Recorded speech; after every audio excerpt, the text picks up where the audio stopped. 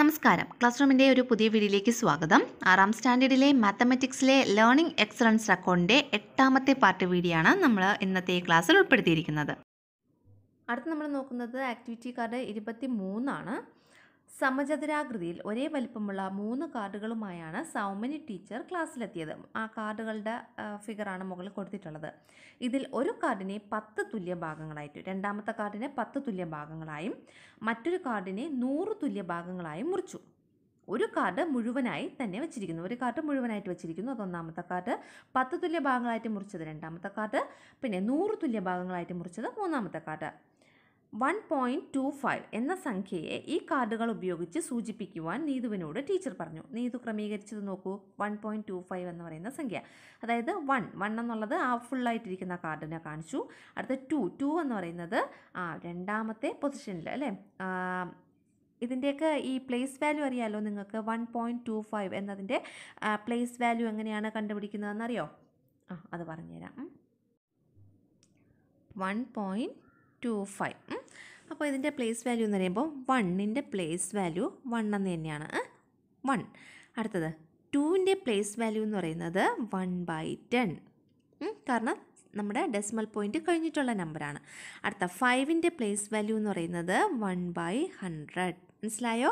അപ്പം ഇത് decimal point കഴിഞ്ഞതായതുകൊണ്ടാണ് വൺ ബൈ ടെൻ എന്ന് പറഞ്ഞത്. ഡെസിമൽ പോയിന്റ് കഴിഞ്ഞ് ആണ് ഫൈവ് ഉള്ളത്. അതുകൊണ്ടാണ് വൺ ബൈ ഹൺഡ്രഡ്. മനസ്സിലായല്ലോ പ്ലേസ് വാല്യൂ?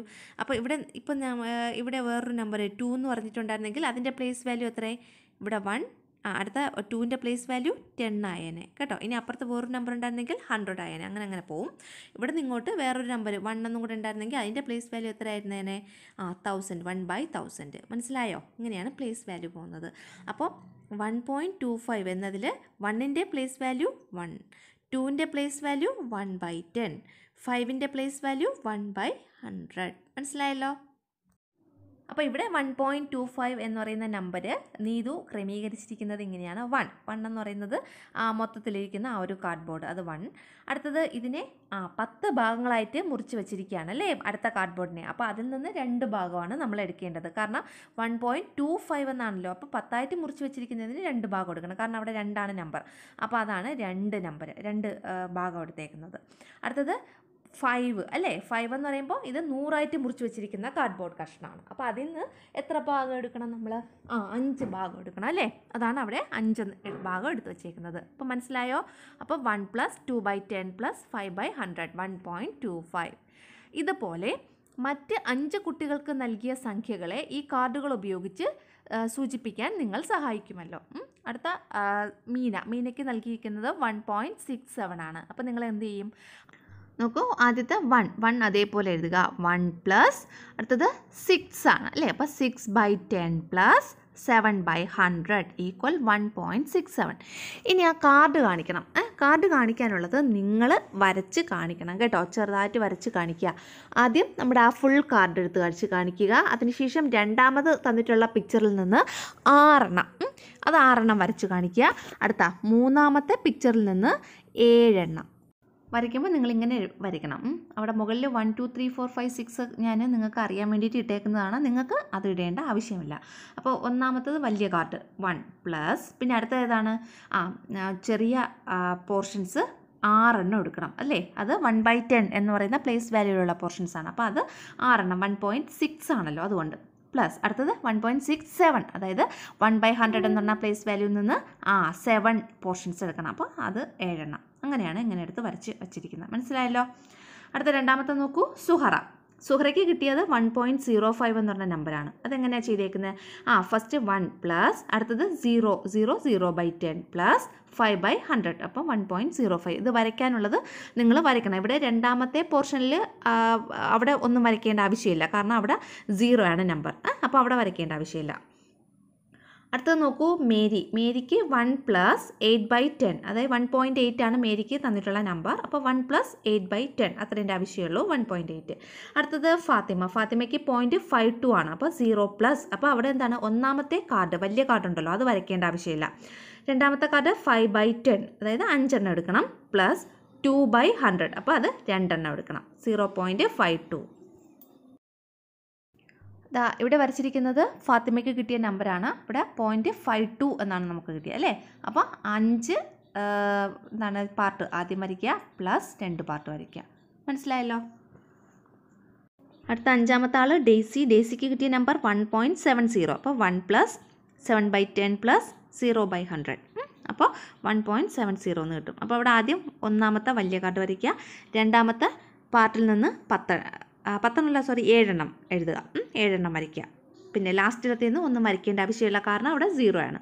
അപ്പോൾ അത് കിട്ടും ഡേസിക്കുള്ളത് ഓക്കെ അടുത്ത് നമ്മൾ നോക്കാൻ പോകുന്നത് ആക്ടിവിറ്റി കാർഡ് ഇരുപത്തി നാലാണ് ചിത്രത്തിലേതുപോലുള്ള ഒരു ജനൽ നിർമ്മിക്കുകയാണ് ഗോപാൽ. ഇവിടെ ചിത്രം കണ്ടല്ലോ? ജനലിന് ചുറ്റും വീതി കൂടിയ ഒരു ഫ്രെയിം നിർമ്മിച്ചത് സ്റ്റീൽ കമ്പി ഉപയോഗിച്ചാണ്. എങ്കിൽ ഫ്രെയിം നിർമ്മിക്കാൻ വേണ്ട കമ്പിയുടെ ആകെ നീളം എന്ത്? അപ്പോൾ ഈ ചുറ്റുമുള്ള ഒരു ഫ്രെയിം കണ്ടോ? ആ ഫ്രെയിം നിർമ്മിക്കാൻ വേണ്ടുന്നത് വേണ്ടുന്ന സ്റ്റീൽ കമ്പിയുടെ മൊത്തം നീളം എത്രയാണ് എന്നുള്ളതാണ് നമുക്ക് കണ്ടുപിടിക്കേണ്ടത്. അതിന് വേണ്ടിയിട്ട് എന്താ നമ്മൾ ചെയ്യാനുള്ളത്? ഇവിടെ നമ്മൾ ചെയ്യാനുള്ളത് ഇതൊരു എന്ത് ഷേപ്പാണ്? ഇതൊരു റെക്റ്റാങ്കിളിന്റെ ഷേപ്പാണല്ലേ ഉള്ളത് ഇതിന്.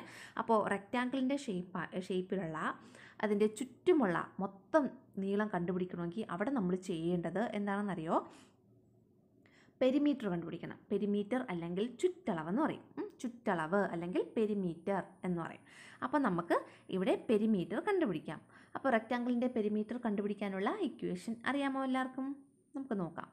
കമ്പിയുടെ ആകെ നീളം. എത്രയാണ്? കമ്പിയുടെ ആകെ നീളം എന്ന് വെച്ചാൽ ആ തന്നിട്ടുള്ള ആ, ജനൽ എന്ന് പറയുന്നത് ഒരു റെക്റ്റാങ്കിളിന്റെ ഷേപ്പിലാണ് ആ റെക്റ്റാങ്കിളിന്റെ പെരിമീറ്റർ അല്ലെങ്കിൽ ചുറ്റളവ് കണ്ടുപിടിച്ചാൽ മതി അല്ലേ? അപ്പോൾ ചുറ്റളവ് കണ്ടുപിടിക്കുന്നത് എങ്ങനെയാണ്?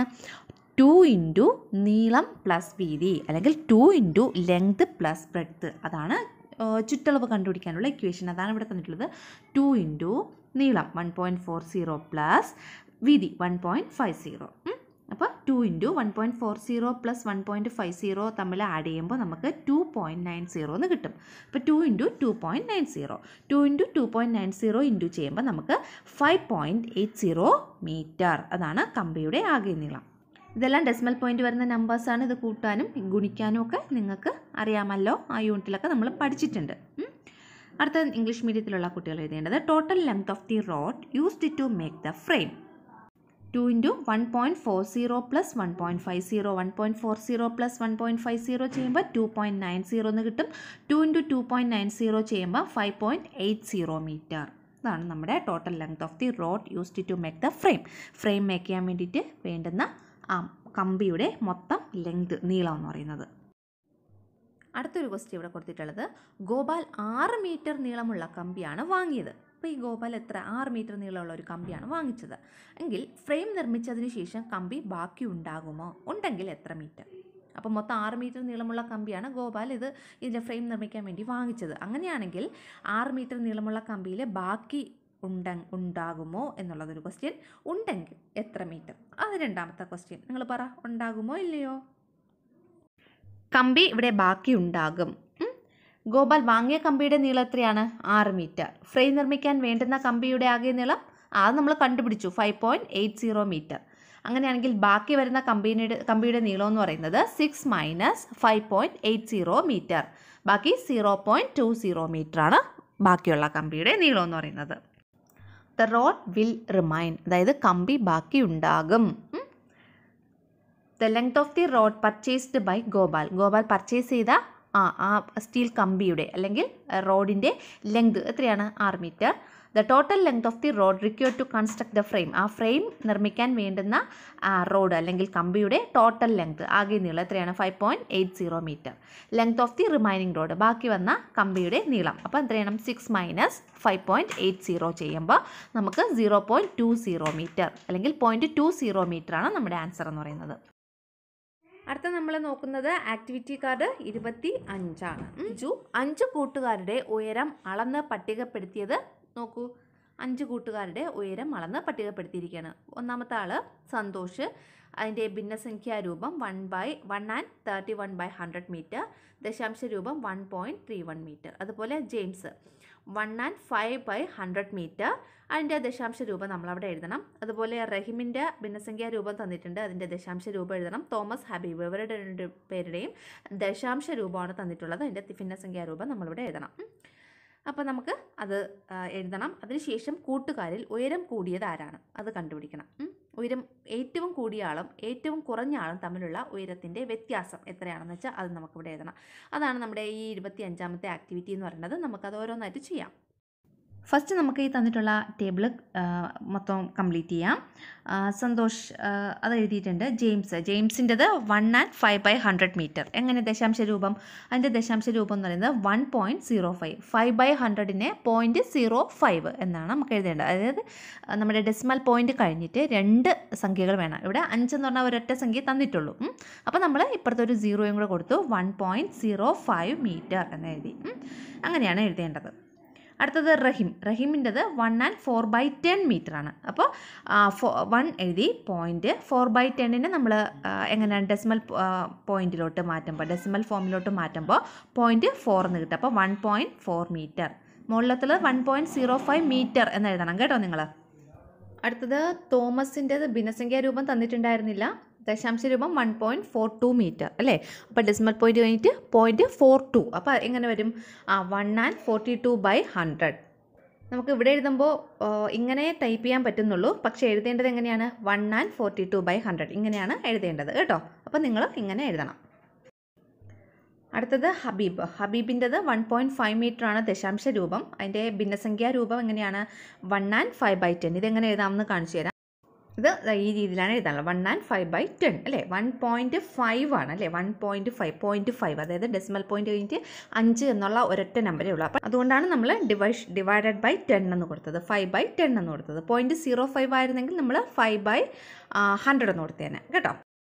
അപ്പോൾ ഈ ടേബിൾ ചെയ്യാൻ മനസ്സിലായതോ മനസ്സിലായല്ലോ ഈ ടേബിൾ എങ്ങനെയാണ് ചെയ്തത് എന്നുള്ളത്?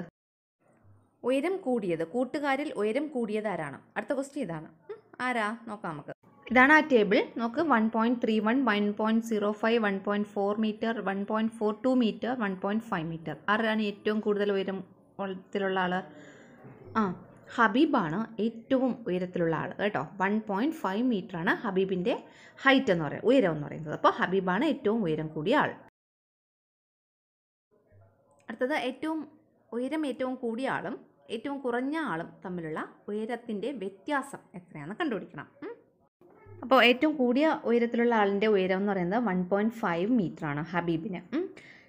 ഏറ്റവും ഉയരം കുറഞ്ഞ ആൾ ജെയിംസ് ആണ് one point zero five metre അപ്പോൾ ഇവർ തമ്മിലുള്ള ഉയര വ്യത്യാസം എന്ന് പറയുന്നത് zero point four five metre ആണ്. Zero point four five metre ഇതെങ്ങനെ വരണമെന്ന് കാണിച്ചു തരാം. ഇവ തമ്മിൽ മൈനസ് ചെയ്യുന്നത് എങ്ങനെയെന്ന് കാണിച്ചു തരാം. One point five minus one point zero five അങ്ങനെയാണ് എഴുതാനുള്ളത്. അപ്പോൾ ഇവിടെ ഒന്നുമില്ല. അതുകൊണ്ട് ഞാനൊരു സീറോ കൊടുത്തു. നമുക്ക് ചെയ്യുമ്പോൾ തെറ്റാതിരിക്കാൻ വേണ്ടിയിട്ടാണ് ഇങ്ങനെ സീറോ കൊടുത്താൽ ഒരു പ്രശ്നവുമില്ല. അപ്പോൾ സീറോയിൽ നിന്ന് ഫൈവ് നമുക്ക് മൈനസ് ചെയ്യാൻ പറ്റില്ല അപ്പോൾ നമ്മൾ ഫൈവിൽ നിന്ന് ഒന്ന് ഇങ്ങോട്ട് എടുക്കും. അപ്പോൾ ഇവിടെ എത്രയാവും? പത്താവും. പത്തിൽ നിന്ന് അഞ്ച് പോയാൽ അഞ്ച്. ഇവിടെ ബാക്കി എത്രയുണ്ട്? ഇവിടെ നമ്മൾ ഒന്ന് ഇങ്ങോട്ട് ഇപ്പുറത്തോട്ട് കൊടുത്തു. അപ്പം ബാക്കി നാലുണ്ട്. അപ്പം നാല് അതേപോലെ എഴുതി. പോയിന്റ് അതേപോലെ ഇട്ടു. വണ്ണിൽ നിന്ന് വൺ പോയാൽ സീറോ ഇങ്ങനെയാണ് സീറോ പോയിന്റ് ഫോർ ഫൈവ് കിട്ടിയത്. മനസ്സിലായോ? ഇതെങ്ങനെ കിട്ടിയെന്നുള്ളത് ഇവിടെ നോക്ക് അൻപതാണ് ഇവിടെ. അതിൽ നിന്ന് അഞ്ച് കുറച്ചാൽ നാൽപ്പത്തഞ്ച് അങ്ങനെ കരുതിയാലും മതി. കേട്ടോ? തീർന്നിട്ടില്ല. ഒരു പാർട്ടും കൂടെ ഉണ്ടെങ്കിലേ നമുക്കിത് തീരത്തുള്ളൂ. പിന്നെ നമ്മുടെ ആക്ടിവിറ്റി രണ്ടും മൂന്നും ഒക്കെ ചെയ്യണമെന്ന് ഒരുപാട് പേര് ആവശ്യപ്പെട്ടിട്ടുണ്ട്. അപ്പോൾ അതും കൂടി ചെയ്യാനുണ്ട്. അപ്പോൾ അത് അടുത്ത ക്ലാസ്സിൽ ഇടുന്നതായിരിക്കും.